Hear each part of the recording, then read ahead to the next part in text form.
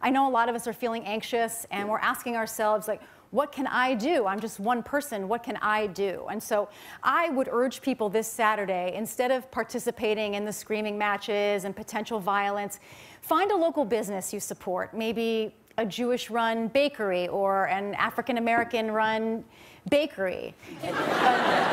Order a cake with the American flag on it, like this one, and um, just eat it, Colin. Well, if this doesn't prove that Tina Fey is all of us, I don't know what is going to. Instead of more good people getting hurt at rallies and protests like what happened in Charlottesville, she's just jokingly offering an alternative, sheet caking, she calls it. Stay at home, eat a whole cake.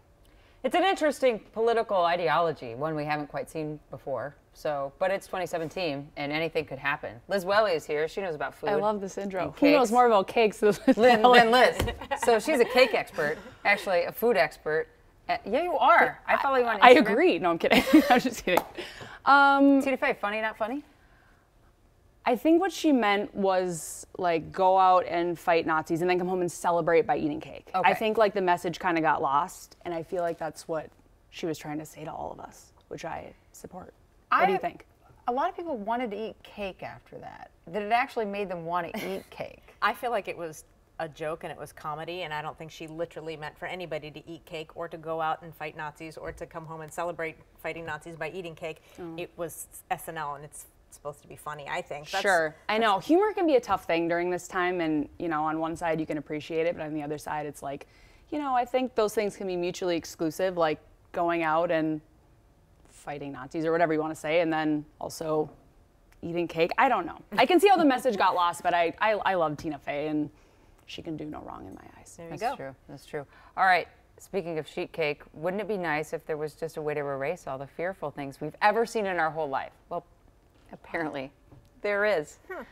Yeah, for example, a person who was in a car accident, they might develop a fear or have traumatic memories pop up every time they get into a car. It's possible we're being told now to target the fears in your brain. People at UC Riverside researchers say low frequency light patterns can target that fear and then reprogram your brain. This has worked in mice, because that's where we mm. start these things, but not in humans. So, if you could like zone, this reminds me like Eternal Sunshine of the Spotless Mind, right? Where you could zone in on something and wipe it clean. Like when you saw your dad in his underwear when you were That like, 12, definitely and well, it hasn't been wiped you gotta, clean like, yet. So you get to pick it. one. What's your pick? like have it or don't have it. Have it or don't have it. Or something I mean. I am a human of immense anxiety, so I think I might benefit from this, but I could understand how this would inhibit some. Like the first, when I first saw this headline, I thought it meant it erases fear in your brain completely, and I'm like, we're gonna wipe out half our population. so I'm gonna be like, let's go squirrel diving from the top of the Grand Canyon. What do you guys think? Uh, yeah, I guess if you could target it. Like, I was always really afraid of dogs when I was a little kid. Yeah. So I would have zapped that. The fear of dogs. I would zap a fear of spiders because I have a ridiculous fear of spiders. Do have I mean, a who doesn't?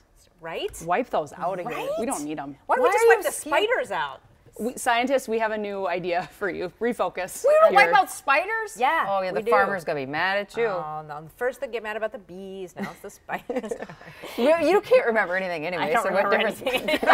I'm good because I don't remember anything. So Well, perfect. You're set. I'll Us, be we like, remember yesterday when? No. No, I sure don't. Man, interesting. Okay, I'm excited to see where that goes.